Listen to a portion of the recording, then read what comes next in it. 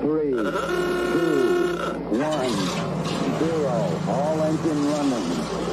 Liftoff. We have a liftoff.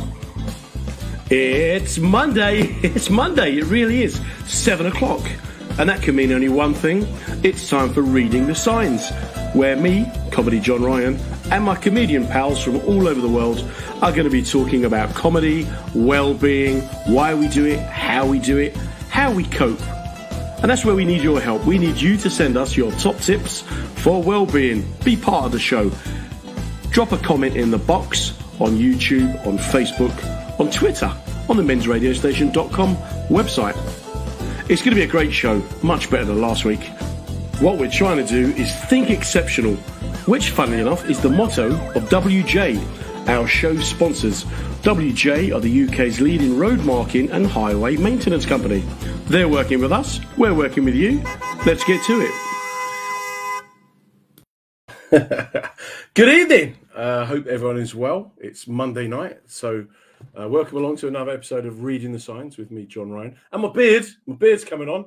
What do we think? You know, I'm going for that wild Irish rover look, and with the dark jumper, I feel like I'm a, a spokesperson for like some terrorist organisation. Let's get this light sorted. Um, how's your week been? How's your day been? What you been up to? Do let us know what's happening in your world.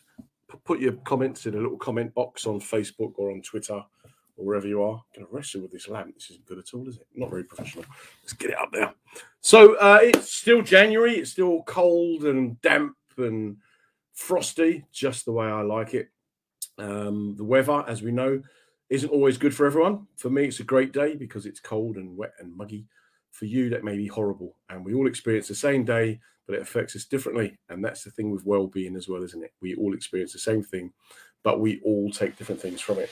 So, how's I'm actually looking, I can see my reflection. I'm starting to look like Jim Royle. Uh, uh, before Nick starts or anyone else points it out, I will mention it first. Yeah, I've got this very Jim Royle look about me. Ah, I'll have a go like that. There you go. So, um, yeah, great uh, week we've had so far this week in my house. We've got a getting ready for that last push on the building work, um, just sorting out the floors. Um, no Darren today because it's his birthday. So, a little happy birthday to Darren if he's out there listening. Got an amazing guest for you guys tonight. Um, um, it's a real treat, actually. It was always one of my favourite acts to work with, um, but our careers went in different directions. So, it not happened that uh, often since. He's one of these people who may not see him for a week, a month, or a year. But whenever I do bump into him, it's just like I saw him yesterday. He's one of the most interesting characters in my life. And anyone who knows me will tell you that I've got a proper collection of um, characters, shall we say. But this guy, Griff Griffiths, he, he tops a lot, really. His book uh, that he's bringing out, uh, I Was King of Spain, it's you can't put it down. It's just a dip in and dip out memoir of his life, and he's probably had loads more things happen to him since he's he's written it. So we're going to talk to him a little bit about that. We're also going to talk to him about his comedy career, how he was never a pop superstar, but if he had been, Bros wouldn't have got a look in. Before we go any further, a quick hello to uh, Robert Van Buren. Thanks for coming along, Rob. Always good to have your support, mate. Thanks for your continued listening. Um, if anyone else is out there, if, while, while you're listening to us on Facebook or on Twitter or on any of the other ways of doing it, all that social media malarkey, do let us know that you're out there. Give us a little follow. Do let us know what you've been up to and how you're engaging with the show and all the other shows that are on the station. So um, Griff is the sort of guy who you just get stuck with this guy at a party and you are in for a good time. Uh, you just know that he's going to entertain you and engage you. And I'm hoping that's what he's going to do for us for the next hour. So if I can ask you all to please give a, a nice, warm welcome to the man himself. Um, it's an absolute pleasure, as I say. It's Griff. How's that, mate? Hello, John. Well, well, that was a very nice intro. I suppose it's all down here from now, it mate. It's all down here. No, not, not at all. We look like we're kind of uh, albino versions of each other. You've got like a well lit room. I'm in this. Yes, yeah, yeah. What's going on? Well I, well, I would have gone for the darker look, but uh, I think you only go dark when you're not when you're not so pleased about the way your beard looks. And I'm well, fairly happy mate, with mine today. I've never really been able to grow beards, but last January I tried to do one, and then it got too itchy, so I gave up. But I'm determined to. I like the afro look. You had that afro look on the cruise My... recently. I like that. That was our mate Lindsay has um, kept us really entertained during lockdown, and since just turned up last week with some Afro wigs, and so we. Oh, I love a wig, mate. I, I, I, I, if we go away anywhere, me and the lads, I always take a bag of wigs. Always got a bag of wigs. I love them. I used to wear a bit of carpet on my head for about a year. I had a bit of carpet, and they used to sing, sing to me at Palace, carpet, carpet, give us a wave. And I used to wear a bit of carpet on my head, yeah, for eight, for well, about a year and a half. Don't ask me uh, why. And, and so is what's the, is Palace? Is that is that the team for you? Is that they, is that your yes, boys? I'm a Palace fan. Yes, we've all been uh, we've all been uh, commiserating each other because we got stuffed by, by Liverpool because they cheated. But I would be saying that it, it was. Uh, do you follow football, John? Uh, yeah, I do. I, I'm for my sins. Irish Catholic family, Man United, Celtic. That's it. I had no choice. So I've had many well, we're, great. We're, because we're all Croydon. It's, it's got to be your local team. It's Crystal Palace through and through, mate. Uh, well, I do go and watch Orient. That's my kind of uh, that's that's my attempt at some sort of neutrality. But I was oh, brought oh, okay. up. Is that, is that where you live? That way? It's that that way. Yeah, I was brought up halfway between Arsenal and Tottenham, so we used okay. to go one week, Spurs the next week. Sometimes pop down to Orient as well. Um, but what was that around Hackney sort of way, wasn't it? Yeah, it was, it was Hackney. Yeah, but my dad, his thing was in this house we support Manchester United. If you're good at sport, you play for Ireland, and you listen to what your mother says. And then uh, when my kids were born, he had the same speech, but he said, "In this family, you support Manchester United, and if you're any good at sport, play for Ireland, and you always do what your grandmother says." So, uh, were you any good at sport? Yeah, I was actually. It was pretty handy. Um, I actually I was telling someone about this last week that um, I was in a school cricket team, got picked okay. to play for the got picked to play for the borough. My dad wouldn't let me play because it was an Empire game. It was a what? Uh, it was an Empire game, and he was a very oh, proud Irishman. And uh, I'm like, but I've been chosen. It's like a real big thing. He went, no, not playing it. And uh, oh, okay. yeah, it, it, was very bizarre. You can't really sneak out a cricket bat. Um, no, well, we, we um, the school I went to, we didn't really play much cricket or stuff like that because it was a pretty rough school, and um, we, we only had sort of half a bat and one one uh, uh, one pad you know, it, it usually ended up in a fight with the other team anyway. So, but I did play basketball for the first three years. Our, our school was very good at basketball. My school was, yeah, and we won the Surrey Cup actually when I was eleven or twelve. That was quite good. Look at that. So tell us, when you how how do you fit in with your siblings? Are the eldest, the youngest, the middle? Where do you fit in?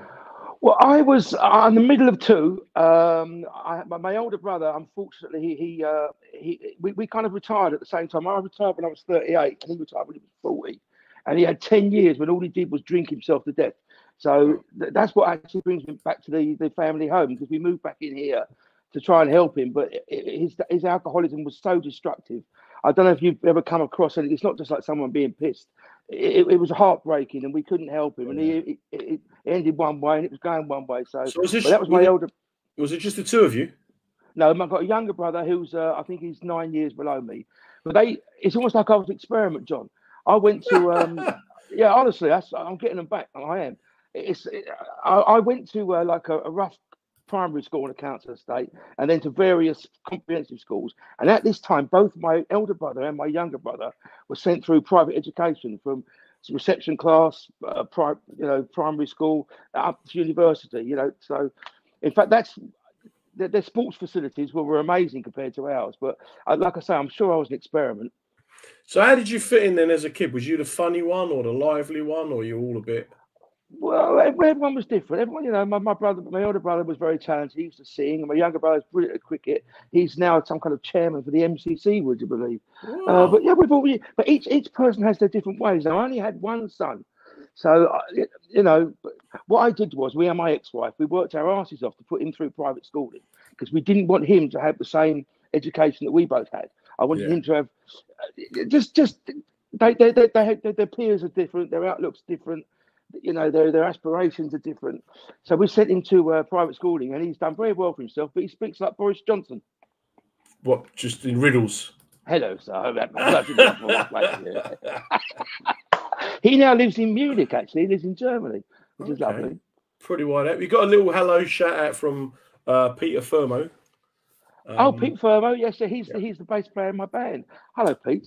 Look at look look at this boy here, Pete. Look how well he's doing all the showbiz. This is next up Jonathan Ross for this lad. I don't know about that, mate. you also got a you also got an apology from uh, James Sharp, I believe, about the Liverpool game. So uh, you know, we'll, uh, get there. We'll get there. It, it, It's Clattenburg, mate. It's the cheap. But what do you do? What do you do? Isn't it? So tell us, as a kid, it- were you always laughing and joking about? Were you always funny? Were you always full of mischief? Well, my mum and dad say I was, but I can't really remember that. Uh, yeah, we moved from the other side of London to Surrey, and all of a sudden there were trees, and I was out on my bike and making camps and stuff. But I, I can't really remember myself ever being funny. I mean, the reason I got into comedy, for example, well, I, I, I sold, got got divorced and I sold my business, and and I was just knocking about doing nothing really. And my mate of mine said that you're sitting around getting pissed every day. Come and work for me. And he said, I I think you're quite funny, Griff. Go on a course. So I went on that Amuse Moose course. With, and you, Wow, they can't yeah. teach you how to be funny, but you, you meet like-minded people. Yeah. And Logan Murray is just a star, mate. I mean, and I've, I, I I still class him as a friend to this day, even though I don't see him very often. You know, you you meet loads of people doing that sort of stuff. Just to get back though, so at school, was you was you trouble at school, or was you mischief? No, Was you no. getting told off? Was you? Well, not not really. I mean, I, there, was, there was always fights, but kids of our age have fights. No, not really. No, we, me and a group, a tight group of friends that I met. Um, Okay. So hello. you met, a tight, you met a tight group of friends, and Hello, you all John. got on. You all stayed together. You just mute. You just muted your phone, Hello, mate. John. He just okay. Well, um, the gremlin that we always have uh, seems to just hit us for a second. Griff's just popped off, but he's actually quite a lively character. Pete, if you've got any great stories about him, James, do let us know. Um, the thing with Griff is that he's just full of mischief. He's he's pressed a button on his on his phone. He's not um, really tech savvy, so hopefully we'll get him back in a little while. It's always interesting to me, though, to see how people were as kids and how they fitted into their family and how they were at school. So I'm, you know, from a, big, a big Irish family, as I've mentioned a few times in the past. I was always um, lively. I think is the word. I was very shy as a kid, uh, crippling shyness I had when I was very, very young. But then as I got older, I kind of overcame it, um, and I learned to watch. I was always watching people. And where I grew up, it was such a vibrant, sort of energetic place that uh, there was loads and loads of characters around. So I used to kind of mimic, watch, and take notice of people.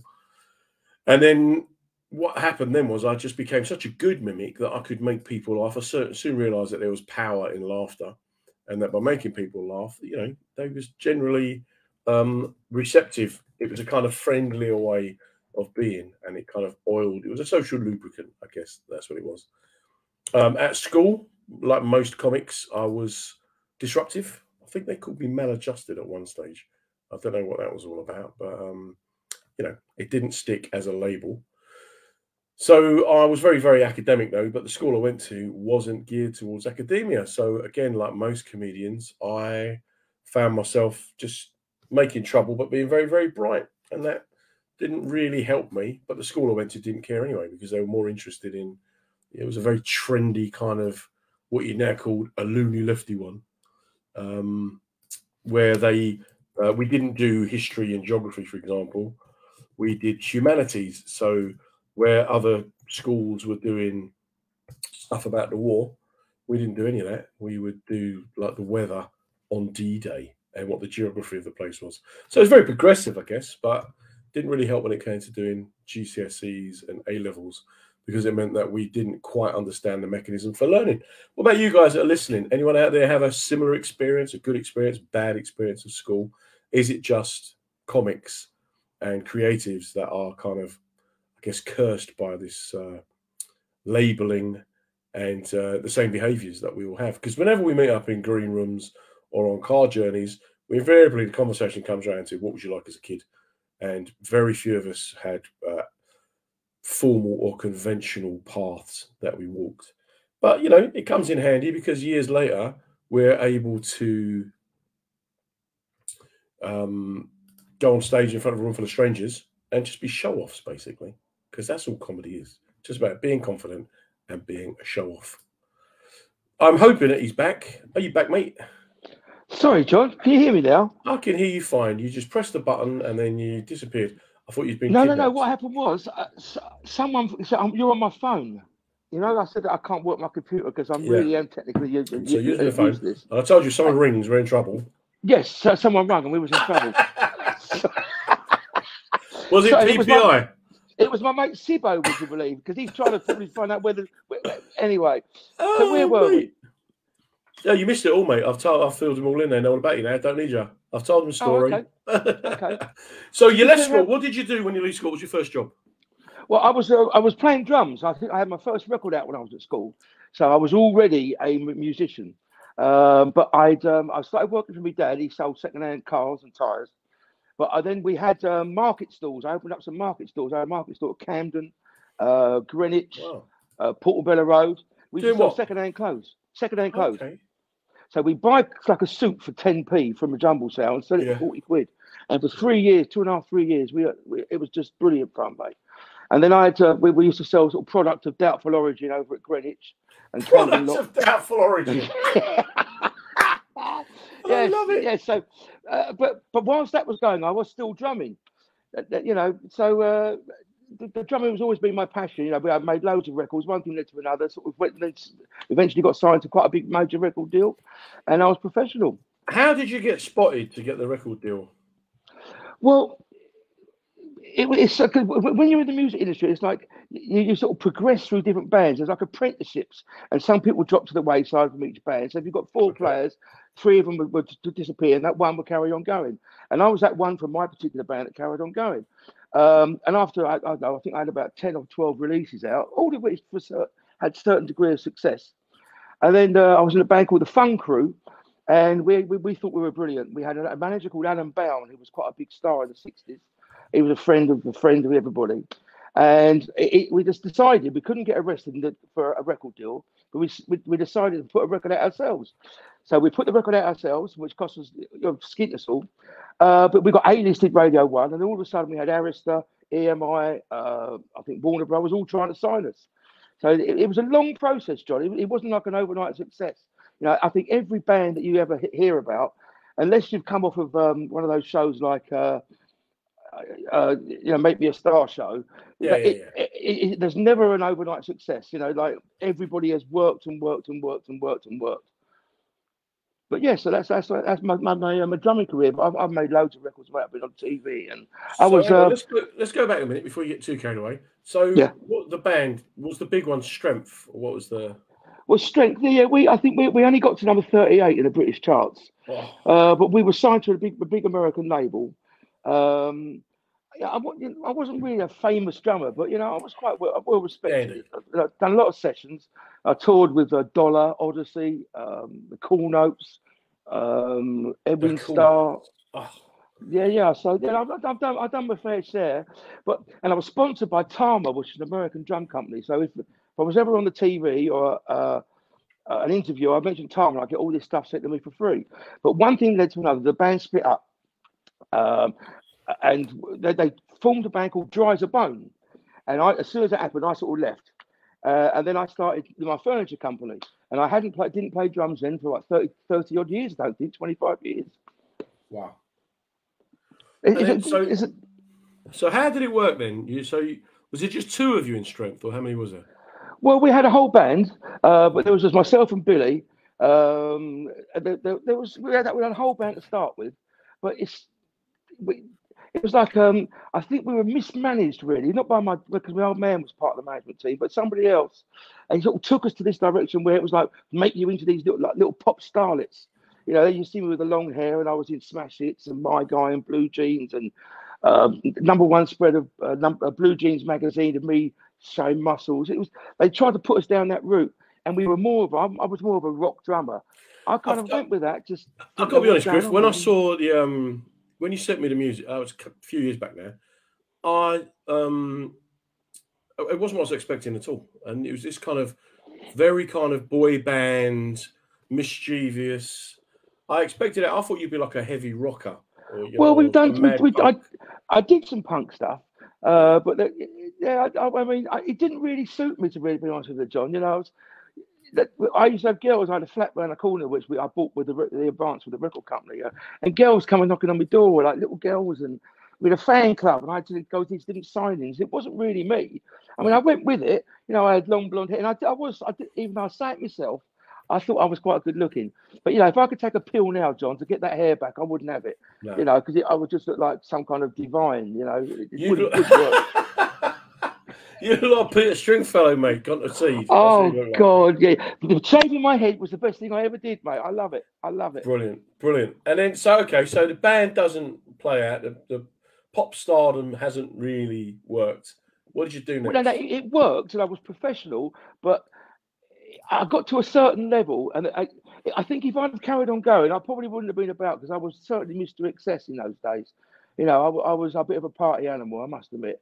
But uh, when, when I got out of the music industry, my dad, my my granddad was his hobby was gilding, uh, and, and uh, restoration on old, uh, antique frames and stuff like gesso plaster work. Very very traditional. And his hobby, he taught my dad that hobby, and I used to help my dad just restoring frames as a pastime. And one thing Yeah. led to another. I thought, well, I'll do that. So I started making a few frames, put them in, a, in an old van that I had. Used to take her around different shops. And one thing led to another. Twelve years later, I had, uh, I think, fourteen staff. Uh, it was two salesmen, one for the north of England, one for the south of England. I was winning awards for my designs. Um, yeah, so I was, do- I was doing very well. Yeah, and I Well, what- it when I was thirty-eight. So what happened then? Well, I, I, for whatever reason, myself and my wife, we ran out of gas for whatever reason. Yeah, and I had a bit of a breakdown. And I had a big showroom. Now, in this showroom, there's a lot in between, John. But in this showroom, I used to sell furniture. Some of the pictures on the walls I would paint, but some of, but it was furniture. And I had this almost a throne. And for some reason, mate, I, I don't know how it hap- come about. I told somebody I was the king of Spain, right? And they said, I said, don't bother buying that, mate. You can take it. So they just took this bit uh, item off the wall, and it went round to my parade of shops within an hour. And rather than saying, "Look, you've got a problem here, Griff. You should close the shop door because you're giving things away," some, this isn't right. They were telling their friends to come in and take stuff off me, but I was sitting on this throne, believing I was the king of Spain, and I gave all loads of stuff away. And I, I, I know, I know, I, I peed in the sun, John. You know what I mean? yeah. uh, and I ended up, uh, I drove down to, to Bristol because I was so confused and I was going to kill myself. I was going to jump off the suspension bridge. I know it sounds, it sounds ridiculous even saying it now. And the tide was out and I didn't want to go to the afterlife covered in shit. And it got really on my life. And my brother lived about 20 miles away. One thing led to another. I ended up going to the Priory for about three months because I had private health insurance. And there I was in the Priory thinking I was the King of Spain. My mum and dad coming in crying and it's just, it was a You- bit, bit bizarre, mate. Okay, but you're comfortable telling us about this, yeah? Yeah, yeah, yeah, yeah, yeah, yeah, yeah. Well, So when yes, you yeah, absolutely. when you went on that drive down there, what was your intention to just end it all? To be honest with you, John, I don't think it was, mate. No, I mean, if if I wanted to end it, I wouldn't have driven somewhere so close to my little brother, whom I love. You know, eh, you know, but it, it was certainly a very confusing part of my life. So I'm in the Priory, and you- that place. It was good for, for, for me at the time, but they were trying to. First of all, they tested me for drugs and alcohol. There was none there, which means there's a chemical imbalance. So I, I, I prescribed drugs, blah blah blah blah blah. You know, the people next door to me, she thought she was married to George Michael. Somebody else thought that he was, uh, I, I don't know, the best friend of the Pope. There was, there was, everyone had their own issues there. Uh, but when I came out of there, I decided to put that, which was just a bizarre thing, into a positive. Not because I'm some kind of genius, but because I just thought, where, where did that come from? I might as well use this to my advantage. And I became the comedian. And part of my act was I was the king of Spain. Yeah, yeah. That's I get that. So but in the build up to giving the stuff away, when you look back now, can you see how it started going off the rails? Yes, or, I, or- I can. Yes, because I was working and working and working and working. I never had any time off. I was working through the night. You know, I had a nice BMW convertible, and I drove past the pub some nights on a Tuesday or a Thursday at ten o'clock, and my mates would be in there. But I was just working. I'd have dinner parties when I never turned up because I was always working, and it just it just blew my mind. I think that put a wedge between me and my wife. It, you know, it yeah, it was it was just the strength to know the the the, uh, the the will to want to achieve. I think but it just took me the wrong direction. You know, and I certainly wasn't happy, but I just had to do it. It, it was just there. I had to do it. But you had so you had money, you got the car, Yes. you got the trappings of a good life, Yes. but you still weren't happy. No, wasn't happy at all, mate. No, wasn't happy at all. But I don't know because like when when I when I sold the business, I had a few bob, and uh, my little brother, who's a mortgage advisor, he said, "What are you going to do?" And I said, "Well, I don't know. I'm no big stakes to business." So he suggested to buy some properties over in the East End of London. So I think I bought about eight. He bought two. I bought a, a, um, a villa in um, in uh, in uh, where was it? in in Cyprus. Uh, but then we got the Olympic bid. So these eight or nine properties I had, they pretty much quadrupled in price overnight. So how it happened, it just happened. Uh, and he said, right now you can build in the portfolio. I said, no, no, I'm going to have, I, I sold, I'm going to have 20 years off. So I sold a lot, and I just had all that time to myself. Now, if I hadn't have done that, I don't think I would have survived. It's, it's a bit crass now looking back because I think, oh, I wish I had all that. But if I hadn't have chosen that route, I don't think I would have been here because that kept me alive. You know, just I, I, think I had 27 or 28 holidays in one year, John. You know, wow, flying lessons, handmade suits, learning to sail, brand. You know, do you it, think it you kept was, me alive? Were you still in trouble though mentally at that time? Do you think? Yes, yeah, yeah, yeah. I mean, I, I still have issues now. No, if, if I keep myself busy, John, I have to be kept busy. That's probably why I've achieved so much or, or done so much in my life. Because if I if I stay still for too long, I analyze what what shit what, what, what I'm doing really. So I have to keep myself busy. You know, like just with my dog, I have to get up at half past five, six o'clock to take her for a walk. Otherwise, I get grief off my dog. But you have, I have. This is my own way of getting through it. Yeah, I yeah, have yeah. to keep busy. I have to. I have to keep active and keep busy. So how did the comedy start? What made you? you someone just said you're funny. Do a course. You went on Logan's course. Yes, yeah, yeah. I was. Well, I, I didn't need the money, and it was a good friend of mine called Andy Nichols. He still is one of my oldest friends from school. He's still one of my best friends today. He said he didn't really need me. He didn't really have a role for me in his firm. I wasn't a builder. I think the first job I did, I remember. Uh, he said, "Take some tiles off this wall," and he left. and I took all these tiles off the wall, and I came across the pipe for the uh, sink, and I didn't know. I just pulled it to one side. You know, and it just yes, and it was pouring. Anyway, but he uh, Nichols didn't really need. He didn't need me, but he was paying me because he could see that I was in a very destructive place, That's sitting on my own, getting pissed, not doing anything. So he got me out and about. But he said, "Go on a comedy course, Griff." Like I never even thought about it. So I joined the comedy course with Logan Murray, with, with about twelve like-minded people over at uh, the Amuse Moose, uh, and all of a sudden, you know, sort of two years later, three years later, I'm, I'm headlining shows, which I've done three. I've been Edinburgh three, for three years in a row. I think the first one I was up there with was the Amuse Moose, and then I was up there because I was in the, the Hackney Empire final, so it was the best of the Hackney Empire. And What then year was that? Do you remember that? Was that yeah, 2004? well, you were there because I remember you, I, I found Yeah. that flyer, didn't I? Yeah, yeah, 2002, 2003. yeah. Uh, I think Andrew Lawrence was in the Amuse Moose final with me. That's how long ago it was. Wow. Uh, and I'd done a show with Nigel Taylor, The King and I, but I was just hating it. I was missing my girlfriend at the time. I was missing my son. You, you know, it, it was. It, I was falling out of love with comedy. And there was two weeks into the show. Now this is an honest, honest story. I thought, well, I'm going to have a tattoo done. So I went to a tattoo shop in Edinburgh to have "Be Happy," and it, I said, "Be happy, please, Ray." And he put the, the wire the wrong way round. Now, if there was anything that was going to swing me whether to stay in Edinburgh or not, was the fact that a dyslexic Scottish tattoo mis- mis- he put the fucking wire the wrong way round. So I just thought, well, that's it, you know. oh, no, So I said to Nigel, who's a lovely fellow, I said, look, Nigel, it's called the King and I our show, but this is killing me. I've got to go home. So that was it. I left. And my last ever gig was a Laughing Horse gig. I was headlining over at uh, somewhere in Richmond, and all I did, because I was never, I never bullied or abused the audience. I had my stories. You know my, my routine. Yeah, yeah, yeah. Yeah. Um, but I was just telling everybody how much I hated them, and funny enough, they, they loved it. And I could have gone on to do more more shows down that route, just basically abusing the audience. But my love of comedy left, and you know what it's like. It's, it's all encompassing comedy, isn't it? it? It takes over. You have to be in there. You- you- you- well, certainly for me, you have to think it. You're you're in it. You're trying to gig. You're out every night. It takes over your whole life, doesn't it? It does for a lot of people. You got to keep yourself in check. So, I did um a cruise. I got back last Saturday, and this Saturday I'll go on another one. So the two weeks in between, I've done uh, one a one hour presentation last week, and I'll do a one hour presentation this week. And that's it. I won't take any more gigs. I won't take any more work because I tr- I've always tried to have that balance. I try and take off one Yeah, weekend that- a month. That's twenty years have gone by since you know when you first started, John. Yeah, but but that's the thing. That's why I never really. I remember in 2000, I think it was 2001.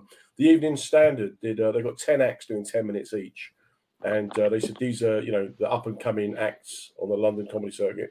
and they did a review and they said, you know, the guys to watch Russell Brand, Steve Merchant, John Ryan, and they interviewed the three of us, and Yep. they said, Russell, what are you going to do? He said he's going to do stadiums and blah blah blah. Steve said he's going to write sitcoms and that, and I said, I just want to be happy and have healthy kids. And the guy that did the article just laughed at me. Then he done a follow up about 15 years later, and I said, um, he said the other two have achieved what they set out to do. Do you feel resentful? I said, no, I've set out what I've achieved to do. And Steve Merchant at that stage still wasn't in a relationship, and Russell was, you know, all over the place. He had all Yeah, yeah, of yeah. problems. So it's Yeah. about be careful what you wish for, be careful what Well, you want. it? it's. I, I listened to your show last week with um James? Dowdeswell. Yeah, but- James Dowdeswell. yes. Yeah, James Dowdeswell, and he was saying the same thing. You know, you have to kind of know where you are. But it's yeah, it's just it depends. Yeah, it's very much um, wa- watch out what you, you wish for, isn't it? Really? Yeah, watch out for what you wish for. At this stage, I just want to um, give a little shout out to uh, our sponsors, WJ Group, who are the UK's leading road marking specialists. They've been very, very supportive of the show and of mental well-being in, in the broad community in general. So, so thanks for that. Um, anyone just listening now, this is Griff Griffiths uh, in my head. Yeah, mate, I could spend days listening to you. And your book is just the way you kind of matter. That's why I say, like my mates, it's just that matter of fact way you'll tell a story that most people would be petrified of, but you'd go, okay. So, for example, when I was younger, one of my mates he went on holiday to Bulgaria, and he realised that there's a lot of British tourists out there, and with the resort he stayed in, the nightclub was three miles away, and all the taxis would charge ridiculous money. People were getting attacked in it. So he saw this business opportunity for me and him and my cousin to get a double decker bus out there and take tourists from the resort to the nightclub. Okay. So basically, we ended up, he acquired um, a double decker bus, uh, which, believe it or not, you would have thought it had doubtful origin. You would have thought you'd get pulled over as soon as How'd you, how'd you nick a bus? How'd you nick a bus, mate? He, Cliff he got, no, but we got down as far as Canterbury before um, just the panic got too much. But it hadn't occurred to him what he was going. He carried on in it, and uh, he got caught further on. Um, he kicked us out, told us that we were a pair of somethings, um, and he and and even if you fly out there, you know, I'm not splitting the money with you. And then he then tried to get this double decker bus onto a boat. That was his plan, but he got pulled over because he went on the motorway. Um, but that's Well, kind of You could, you could have thought that through a bit better, mate, couldn't you? he didn't Yeah, never. He was never one for thinking. But do you know, so about- when when I read your stories and you hear your stories, I'm like, yeah, I can see that. Well, because they, they, they, they, I I wanted it to be true. So they're all true, first of all. I wanted it to be like you pick it up. I think there's the one of the opening pages is something like, uh, "I want this book book to be like an, uh, a beautiful swimming pool in the sun. You can dive into it whenever you want." in, Yes, that's. I remember when I spoke to you about it. You said, "Oh, some of those stories could be. You can make them longer if you like." Griff. I Yeah. remember you gave me some suggestions, but I want. yeah. I like the idea of some. One of them's one line, and some of them aren't. I just. But I, even when I pick it up myself, I think to myself, "God, God, it sounds like I'm making it up." But I'm not. It's, No. it's absolutely No, I know, no, no, and it's just that kind of matter of factness that you um you just drop into conversation. I remember a mate of mine. He went out one night and he got absolutely uh, paralytic, and was convinced that he'd um, spent the night with Robbie Williams, the singer from Take That. Right. And then, right, but you know, obviously we're all going to know you're a liar. And then when when we checked it out, it, it was true. It was actually true. And but it, it's just like they he he, he took Robbie Williams was going for a tough time at the time, bowl accounts, and um, they was going to go pictures, but he didn't really want us to watch a film. So in the end, they went um, up a street in Islington. There used to be an arcade. Went in and played on the arcades, and then bought him a KFC. Put him on a bus. Said, "Nice to meet you." And that was the story. And you go, "That's just that's just wonderful in itself, isn't it?" Oh, well, it's just. I had a fight with Rick Astley, right? I mean, don't. now, was it- I, I know. The- the- remember, the, Bla- remember that? Remember Black Box? Right on time. Yeah, yeah, When- yeah, yeah. I was coming down the stairs and they were going up, and she pulled my hair and went ding dong, and I turned around and it's Rick Astley's down there. So I thought, because my dad was with me as well as a few other Right. people, so I thought I kind of not hit him, but and he thinking that he would just go, "Oh, sorry, mate," and he fucking went for me. So we're pu- having a tumble, rolled down the stairs, and it was split up by members of ASWAD, right? And you can't fucking write, Yeah. you can't write that. Brilliant. Anyway, Brilliant. about four years ago, I was with my wife, and she said, Rick Astley's on the radio. He had his own radio show. She said, phone him up and ask him if he remembers. Now, to me, that's a big story. But Yeah. he might get picking up. Here, he might have a fight every week. I've got no Yeah. idea. But I couldn't handle the. Uh, um, I wouldn't. What's the word I'm looking for? I couldn't handle the, the rejection if he said, "No, mate, I don't know what you're talking about." You know, uh, you know, because to me, it's it's really important part of my little world. But to him, it's just another ball that fell out in a fight. But yeah, he can have it. Rick was Rick, Rick was going to have Rick, it. mate. can have it. I tell you what. Yes, he was never going to give you up. I know you're going to say it. Go on, mate. Go on. Yeah, go on. Yeah, yeah, I'd have fight Rick. But all of these things are in the book that I met. Yeah, I've just loads of stuff. I mean, it seems- What's your favorite? What's your favorite story um, from the book? Uh, oh, it, it doesn't. It, it doesn't involve um, any uh, any celebrities. But I went. A mate of mine's really into metal detecting, Right. and he goes all over the country, up and down. So he said, "Come on, we'll go metal detector." Me and my mate Eric and another mate of ours, Paul the carpet. We went metal detecting. He he picks me up from here, and we go to some field in Norwich. At like half past two in the morning, three o'clock. We get this field, and you have to pay to go on. There's a tent uh, from like a hist- you know, like full of historians. So if you find Yep. anything of historical interest, you give it to the tent people, and then they look at it and say, "Oh, because it may be a field of historical interest. You know, it, it, it may be something very interesting." Anyway, and he, he, four hours later, I'd found nothing. I got a Capri Sun packet in a biro, and he says, "Quick, quick, come here, come here." I said, "What you got?" And he showed me this round thing, right, like a brass. And he said, "I said, what is it?" He said, "It's the boss of a Saxon shield. You know, the middle bit." Uh-huh. of a Saxon shield. That, that that would have been worth a fortune. It would have probably changed his life. And he said he's not going to give it in. And I said it looks a bit too engineered there. He said no, no, no. But he didn't give it in. It turned out he went home, cleaned it all up, weighed it, took pictures of it. It turned out to be the petrol cap of a tractor. Yeah. anyway, that makes, it makes me laugh. It didn't make you laugh. It made me laugh. No, that's brilliant. That's, one, a that's one of my favourite stories. So, uh, John Newton, I'm sure you remember John Newton. Of course just, I do. Yes. Yeah, he's just uh, asking where the Dalek is. Oh, the He's, um, Dalek's upstairs in my bedroom, John. He, we we we done a gig. we done a gig somewhere or other, and I think he he dropped me home, and he then because it was so late. I think it was me, Henning, John, and Coppin, Nick Coppin. Yeah. Uh, he dropped me home here, and I, gave, I, I, I bought him a little tiny Dalek. I remember, do you remember that, John? If you're still listening, some of those people from the, the people from those days, uh, Mr. Ryan, are just. I mean, sometimes I don't speak to them from one year to the next, but they're just still very good friends of mine. I spoke to Gareth Berliner the other day because I wanted to tell him that I was on your show, yeah, and. I hadn't spoken to him for six years. And unfortunately, he was he was in hospital because he's been poorly with all his issues Yeah, yeah. he's got. yeah, yeah. Um, but yeah, but you know, but it's, it's like I, you know, I, I spoke to him only yesterday. You know, it's, it's, it's some brilliant people, David Ward, all all those boys. So my mate. favourite, my favourite story. Joe. Wilkinson, I still speak to him a lot. Henning, Joe. I spoke to him yesterday. I love the story. It's the silly things like the dog getting chased by the ice cream. Oh, Um, mate, that was a real story. And it- so, shall I tell it So- quickly? Go on, tell us how it happened. Go on. Right. So I'm sitting at the traffic lights in Wallerton. I think I was the first car on the lights, and suddenly this dog runs across in front of me, attached to a Walls ice cream sign. So and he's just run across. Cars are stopping. He's run into the wall and knocked himself out. So I've jumped out because you know it's a dog. And the fellas come running across. I said, "Well, what's happening, mate?" He said, "Oh, I went to get myself something in the shop, and I tied him to the sign, and he thinks he's being chased by it." I said, "Oh, no harm done. That's the end of the story." Two days later, I'm having an operation on my knee, and I'm sitting in the it, literally about to be put under the anaesthetic, and the fella comes and says, "No."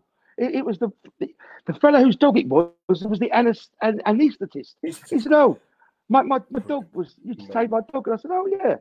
And, and then- anyway, it's not a funny story, but that's story. It's very funny. So all these kind of little manic little episodes, all these little great little tales and stories you have, right? Do you not see though that that part of your creativity comes from this chaos? Yes.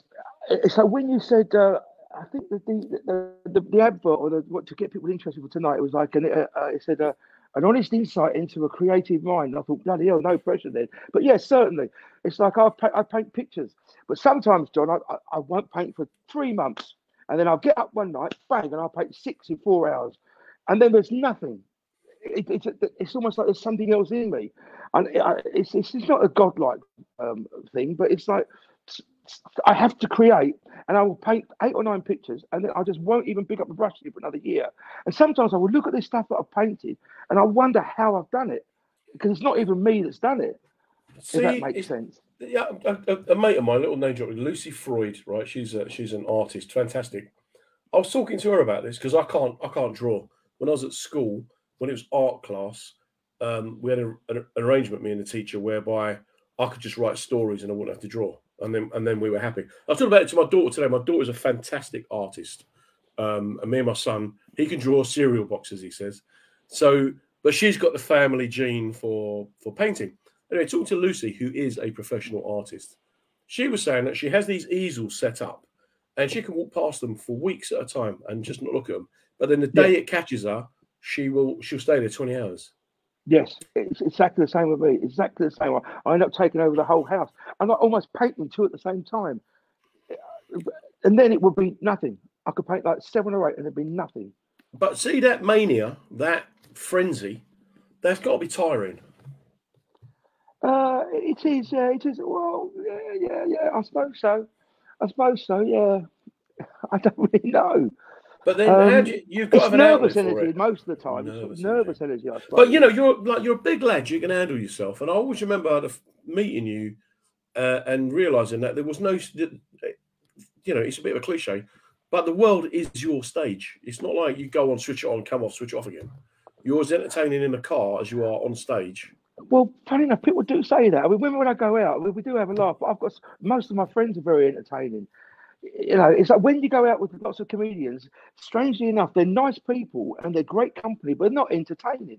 No, Do you know oh, what I mean? If, if, if, oh, if like if, if, a civilian, as you yeah. call them, John, joined yeah. a, a, group of comedians, like if there's Henning, Joe Wilkinson, me, yeah, Greg Davies, you, they'd be expecting it to be hey, way, and it not is it? Yeah, it isn't, is it? I, we just. I'm, I'm, people are often um, um, amazed at how dull I am and because uh, I'm quite happy, and and and honestly, you'll get conversations. Me and Tashby actually, get, and and a mate or whatever, a friend of ours will say, "And you're a comedian." I'll say, "Well, it's yeah, one of the things I do, but it's not what I am." Well, they, know? yeah, but but, you, but I think your, your beauty is John. You you are you. You come across very natural, like you said off air you said you're nosy. You are genuinely yeah, want to know what's nosy. going on behind yeah. it. You are genuinely yeah, nosy. But it comes across without being nosy. It comes across as if you're, you're, interested in, in, the character. You're interested. I mean, I think the first time I met you, you was you were. Uh, it was so you think you're funny competition uh, down in Reading or somewhere or other. Uh, was I hosting it? Yeah, yes, right, yes. It. Imran, Imran just won it. Yes, brilliant comedian. Oh, you should have won it. it. You, it was your. You should have won it. Yes, I know that, mate. I know that. I remember telling you that at the end. I remember saying to you, "You should, you're not going to win it, mate, but you should." Well, the strange thing is, people would say that when I did the Amuse Moose. Now, I remember Rod Gilbert, who was a friend of mine, but he came up to me because he was at the Amuse Moose final, and everybody said, "You won that." But it's, it, I think it's politics because I was, I'm 15, I'm 59 this year, so I was at least 12, 15 years older than yeah, most of the people that were on the stage. There's politics involved. Um, Hils yeah. Jago, you know, whatever. I mean, I like her. She's a bit crazy, but she came backstage with two pints of lager, and there was me and a few others. A fellow called Stuart Hudson, who's no longer with us, unfortunately, but he was yeah. he was backstage because he was part of the final. And she gave a pint of lager to uh, Andrew Lawrence and a pint of lager to the person who came second. We all went, oh, she said, no, no, no, it's just them two. So we knew that they were going to come first and second. But you know, it, it is what it is. You know, I was too old. Maybe I swore too much. I remember she said to me, "You're getting well known on the circuit for busting busting a microphone stand. So I used to bang them on the floor. Yeah, yeah, yeah, so I just went and bought my own. It cost me 140 quid. So I used to take it to the kid. And she said, Look, can we borrow your one? It's better than our one. It's just, you know. but so, but this is my thing, right? So going back, my mania is very controlled. So I can remember the corridor that I spoke to you in, in Newbury at that um, new act final I remember the fact that Imran won it, and I remember talking to you, and you were all hyped up, and I said, "Mate, well done. You, are not going to win. You, you're the best act. You should have won it." And even Imran, who won it, said he should have won it.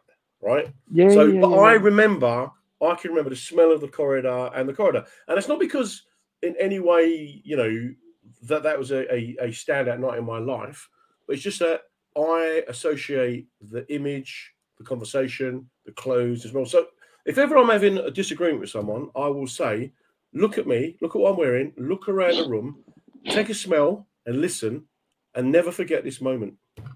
And when I was younger, then I Well- did. But now I just kind of now, Well, now I just walk away. Wait, I don't know if you remember my act, but I was quite full on. I, Oh, I yeah. was, you know, I, it, it was, I put a lot into it. I mean, what happened up in Edinburgh? I think the first time I was up there, you're doing like six shows a day, aren't you? You do a Yeah. gig here, a gig there, a gig here. You know, it's, it's hard graft, John, isn't it? You know, and like so there'll be another act on who's I, I don't know, like Henning is so low key compared to mine. Yeah. You know, but the, the two di- completely different acts. But Yeah, yes, I've yeah. always, but that's how I am a bit anyway. But that's how you are in life, isn't it? That's how you are. Yes, so I how did you so, cope with lockdown then when we couldn't get out and we couldn't um you know, we couldn't do much? Well, yeah, I, I think lockdown was fun because I got my dog. Obviously, I was taking my dog out, and obviously, I was looking after my mum and dad. You know, because they've looked after me my whole life. I was looking after them too. Funny enough, John, it came to the end of lockdown, and I went out and I bought them a cup. So, well, to mum and dad, and I awarded it to them, and I said that this is from me. Thank you for putting up with me, blah blah blah, for the last eighteen months. And they'd been out to a different uh, cup place and bought a medal for me, saying thank you for putting up with everything. How lovely is that? So we had an Yeah. awesome award ceremony here on the stairs. Yeah. Yeah, but lockdown was difficult, you know. But about four weeks ago, I had COVID. Um, I had it, it wasn't too bad for me actually. I, I- to be honest with you, I wouldn't mind every other weekend because I sat in my TV room. I phone up my mum and say, "Oh, can you leave us some donuts outside?" And then she'd knock on the door. There'd be donuts and cups of tea. And Can you leave me some donuts? yeah, I know. I'm 50, I'm, I'm 58, mate. What's going on? But how But did you have cope then with the isolation and not being able then with COVID? What you must have been getting out your head. Yeah, it, it was it was hard. It was hard. Yeah, yeah. It was a couple of personal items that happened, but, but you know, in my in my personal life, which were are going to be resolved now, and that was as a direct result of lockdown. You know, and I think a lot of a lot of people were struggling with that, weren't they? You know, because it was it was hard work for everybody, wasn't it? It was hard work. I mean, some people loved it, some people didn't. Some people were still working from home. You know, like like I, was- I think I mentioned you off air. A very good friend of mine called Kim Ross. Uh, maybe he's listening tonight, but he, he, he suffers a bit. And he just recently he's had like a, a month and a half in bed. You know, things really get to him because he runs his own business very successfully, but he, you can't switch off. You know, and then So when I- I when know. you then when you look at it and you think about when you was at your lowest point, what did you need? What could people have done that could have maybe helped you? Would you have when listened I was someone really, was- really bad, yeah? What could what would have helped you? nothing. No, nothing really. I mean, I, I knew that all. I've got some very, very, very lifelong loyal friends. Some of which I've known for like since I was eight or nine. In fact, most of which I've, there's a big group of them, maybe a 50, 60 of us. We're all very, very tight. Um, there's nothing. It's, you can't really put your hand on someone and say, "Oh, don't worry, mate. Cheer up. Tomorrow, tomorrow's another day." It doesn't work that way. Well, it's certainly not for me, and for the people that. I know that suffer from, with some kind of depression or bipolar, it doesn't work that way for them either. You know, we all we all suffer like everybody does. With you know, if you're upset about you've had a row with your missus, or you feel that you're having a bad hair day, or you, you know, you, there's bits on the TV that you're not agreeing with. We all suffer those kind of upset. But the, this, when you're really down, it's it's in a trough you cannot get out of, mate. I would be very happy. I haven't done it for five years. I would sit in my room for three weeks, mate. I wouldn't talk to anybody. And even if a friend came round, which they often did, I wouldn't want them in the house. Like when I was in the Priory, I had so many people come down to see me. I didn't want to see them. There's nothing they could do. I, but I knew they were there, and I would be there for them. But there's nothing they can do. But did that help knowing that they were there, or is it just something you went through on your own? It's something I was. Well, this is from my own personal point of view, John. It's something that I went through on my own. I knew that they were there, but I had to do. I, I- you know, one thing I didn't want to do was come out of the Priory with between loads and loads of drugs. So I, I managed to keep myself fit. I mean, there was I had to in the end because of the, I had a chemical imbalance, but. Uh, I didn't want to, you know, sort of take one of these to get through it. Take this because I think that you're coming out there with another issue. I went in there with an issue of not taking drugs, so why come out with one? That's the way I saw it. No, but I can know now. I it- it's taken me many, many years, John. I'm 59 in May. All I- I just have to keep busy. I have to keep busy. I mean, the start of this year, I've got this documentary and the uh, the book and some other bits and pieces. I'm busy. That's that's keeping me. Don't, don't, don't, I'm moving in the right direction. But if I didn't have that, you know, I wouldn't go and get a job. I wouldn't be that. You know, nothing's that bad. If you had to But give to someone, a keep- tip, though, you have to give someone a bit of advice, right? And say to them, look, this is what this is what might help you with your with your head, with your well-being. Can you think of one thing maybe that you'd suggest or recommend? Well, it, this isn't scientific, but Right? get a Okay. dog, go out walking. Get a dog. Well, I, I know uh, some people don't like dogs, but How can you not You like know, dogs? some people don't, do they? Some people Oh, don't. I mean, my, my Georgie, she's like just the sweetest thing, and I have to take her out every day. She loves going out, and I love going out every day. And it gives you something to get up for. But uh, that's not really very good advice, is it? By That's dog? great advice because it's practical and it's real, you know, and it makes a difference. And it, if it, Well, I like think you say, your days- was saying the same thing, wasn't he? yeah, yeah, you, your dog wakes you up in the morning and gives you a reason to get out of bed, and you've got a structure, you've got responsibility, so that Yeah. helps. And you, mate, have been at rock, rock bottom, okay, and I you, have. you, you, you have right. And so when people go, oh, look, mental well-being, mental health affects people differently. I understand that, but you have kind of accepted and embraced what you've gone through, and you've also seemed to have, you know, you're aware that it's an ongoing battle. Like when we spoke earlier um, off air, it's like you're not going, I'm going to get cured, I'm going to get helped. You realize this is me, this is what I've got to work with, and I'm going to do the best I can with it. It's taken a long time to get this far, though, John. It's long, a long time to get that into my head, and lots of conversations when you're not depressed with people as well. When, when I've been low, which is very rare nowadays, you can't have a conversation with someone about it. You, you might as well talk to that box, mate. It ain't Yeah. going to happen. But Yeah. w- w- when you're out of it, you can see better. Then you can discuss it. But when, like I say, like when my mate Kim Ross, when he was low, I would phone him. His, his wife would answer the phone. I say, "I'll bring anything round." He knows that, but he don't want to see me. He- the last thing he wants is me there. But when he comes out the other side, the first people he phones out were the people Yeah. he knows that were there. But Yeah, at that point, he, he don't want me. He don't want none of us. But he knows that we're all there and care for him. That's the that's the So deal. you, you said that working to excess, you think may have been one of the things that helped tip you over the edge. How are you going to Yes. not do that now with the book, with the documentary, with all the other stuff? Well, well, first, first of all, uh, I'm, I'm- I'm not so hungry for that anymore. You know, I, I'm, I think I'm a different person now. My son's now, he's living in Munich. He hasn't got, there's no finances to go there. I haven't got houses to keep paying for. I've, I've- you know, I've just got myself really. And I think I, I think I've got a finer balance now. Whereas back then, it was it was all about material stuff. It was all about you know nice cars, nice holidays. Want to go skiing three times a year, but that's not what that's not what life's about. Even when I went skiing, I just wanted to sleep or or come back to work. You know, I don't know. I think I've got to find a balance now because I'm getting old, John. That's what it is, mate. You're not getting old, uh, mate. You're going to How old are you? How old are you, Mr. Ryan? I'm I'm just shy of 52. Oh, okay. I thought you were younger than that. Yeah, well, you know what it is. It's this youthful dis- disposition. It's the beard. I can pass for my 40s, or if my cousin Sharon's watching, I'm 77. So Is that what she um, reckons you are? actually, we have this running joke that um, I'm older than her, but she's um, she seems to be aging quicker, and it's just a, No, Do you it's my thing, though. Go.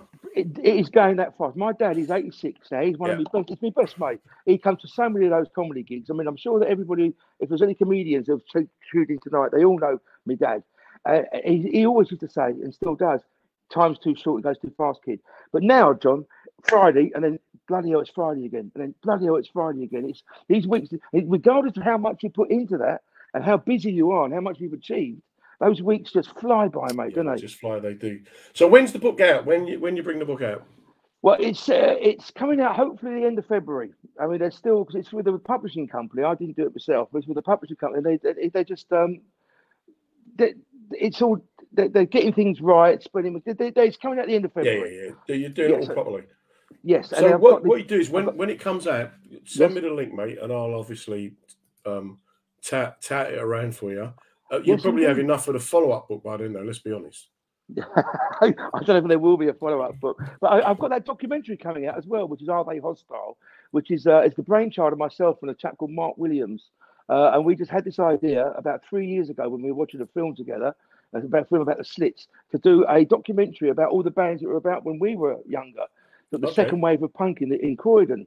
So that's coming out soon. That's been great fun to make. We've got mixed up with some some brilliant bands that are still mates of mine to, mine to this day. Uh, so that's coming out soon. I think with a compilation album as well. Uh, and when we have the premiere, John, we, you'll have to come to the uh, to the opening night of the film, mate. Mate, love to, love to. I'm gonna have to kick you out now, but um, don't uh, disappear too far because I'll speak to you in a few minutes. That hour has just flown by, mate, as it as it always do. I enjoyed that, John. I enjoyed speaking to you, mate. And hopefully, I'll speak to you soon. Um, like, mate, stay, I would say stay safe, but it doesn't mean anything with you. You may tomorrow, your dog may discover an unexploded bomb. you, You know, never or- know. I might, I might discover one, mate. you take care. Speak soon. So that um, that was a, a very interesting uh, hour that I've just spent in the company of Griff. An amazing bloke. When the book comes out, we will um, obviously advertise it. Same with documentary. Uh, like most geniuses, he doesn't do social media, so I can't even tell you. Go and have a look at his Twitter or his um, Instagram accounts because he ain't got them. Um, but he'll probably draw your picture on a bit of paper and send it to you. I will post a link to his Facebook page on my page as well. So do go and check him out and find out what he's up to. So what did we learn from that conversation then? Other than the fact that you know genius comes in um, different guises and manifests itself in different ways. It seemed to me that he was aware of the fact that he worked to excess. Now there's a lot of people who could do with working less because let's be honest, on your deathbed you are not going to say, "I wish I spent more time at work." you will probably say, I wish I had done. And whatever that thing is you wish you had done, please, I urge you, go and start doing it now. You know, make time for yourself. If you're not happy with something, you know what? Don't do it. Just don't do it. Um, understand that there's responsibilities, of course, because sometimes you've got to do things that you don't like. But, you know, that is life. Well being is all about putting yourself first and trying to somehow reframe unhelpful thoughts. And that's not, I'm not a clinician, I'm not a practitioner I'm not saying I'm going to cure you, not saying anything of the sort. But what I am saying is, if you're in a good place now, a good way to maintain being a good place is to try and remove negative, toxic people from your life. Don't procrastinate. Get a meaningful hobby, like Griff said. You know, get a dog, take the dog for a walk. Dana brilliantly summed it up with companionship, having somewhere, someone there to share your journey. But as Griff pointed out, when you're on that journey, you don't want people. No one can tell you A or B all you can do is hope that your friends know that you're there, show them that you're there, show them that you care. And when they get better, and people generally do get better or stabilize in, in a way that means that they can maintain a useful um, and interesting, healthy life. One of the biggest things that people have to understand is that mental health problems happen to more people than you would ever know. Now, Griff's been able to use his well-being situation to be extremely creative but other people just become extremely destructive. The biggest lesson in life is that don't ever think it can't happen to you. I'm not trying to be preachy and you know all kind of gung-ho american and hey it's not going to happen to you man because it can and it will and it does. And it's a very quick journey from being mentally strong and mentally healthy. If life's events take a hold of you you can find yourself in a very bad place very, very quickly. One of the things that came across from talking to him was that um, you know you got to learn to know your limitations. Learning to say no is is difficult, but you don't have to go no. You can say, "Well, I'm not available. Thanks for thinking of me. I can't."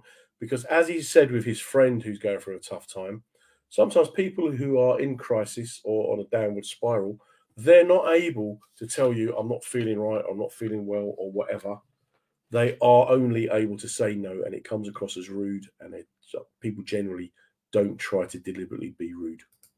I want to just say a quick thank you to people who came along and took time to leave comments tonight. Um, karen coe pete fermo uh, robert van buren john newton steve troop so many of you. If i've if i've missed out anyone then um you know tough.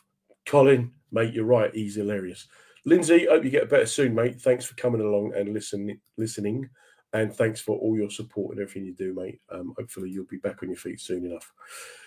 We are here um, every week, every Monday at 7 p.m.